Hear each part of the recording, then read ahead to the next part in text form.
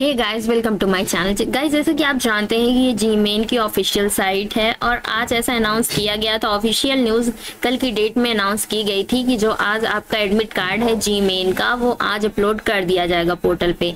लेकिन अभी तक ऐसा कुछ भी नहीं हुआ है। आठ बज रहे हैं, रात के आठ बज रहे हैं। अभी तक पोर्टल पे अपडेट नहीं आई है। अभी तक आपका एडमिट कार्ड अपडेट नहीं हुआ है। तो अगर अपडेट होता है अपलोड हो जाता है आपके ऑफिशियल साइट पे तो कैसे आपको चेक करना है? आप बता देते हो। सबसे पहले जब भी आप ओपन करेंगे JEE main dot N T A dot N I C dot in ये आपकी ऑफिशियल साइट है। बहुत सारे लोगों को तो यही नहीं पता होता कि जी मेन की ऑफिशियल साइट क्या है।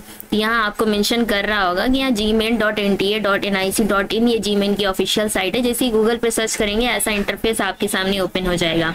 यहाँ पब्लिक न्यूज़ वगैरह पब्लिक नोटिस वगैरह प्रोवाइड की गई है तो यहाँ आपका एडमिट कार्ड शो नहीं करेगा। आपको स्क्रॉल डाउन करना है। नीचे आप देखेंगे तो यहाँ कैंडिडेट एक्टिविटी मेंशन की गई है। और यहाँ अभी शाम को ही अपडेट आया image correction for JEE main exam यानी जी मेन एग्ज़ाम में जो इमेज करेक्शन है, वो आप कर सकते हैं, ऐसा यहाँ अपडेट आया हुआ है। लेकिन अभी आपका एडमिट कार्ड के रिगार्डिंग कोई इन्फॉर्मेशन नहीं प्रोवाइड की गई। जैसे ही एडमिट कार्ड अपलोड होगा तो यहाँ आपका यू आर या यू आर करके मेंशन कर दिया जाएगा कि download admit card for JEE exam और जैसे ही अपडेट किया जाता है, आप जैसे उस लिंक पे क्लिक करेंगे सामने पेज ओपन होगा, जिसमें आपका रजिस्ट्रेशन नंबर मांगेगा डेट ऑफ़ बर्थ मांगेगा और फिल करते ही आपका एडमिट कार्ड डाउनलोड हो जाएगा। तो ये सारा प्रोसेस है।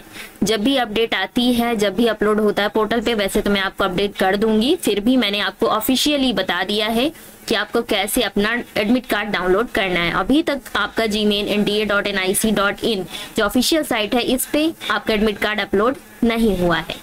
तो फ़िलहाल इस चैनल से जुड़े रहिए, जो भी आगे की इन्फॉर्मेशन फर्दर इन्फॉर्मेशन मुझे मिलती है, मैं आपको तुरंत प्रोवाइड करा दूँगी। Thank you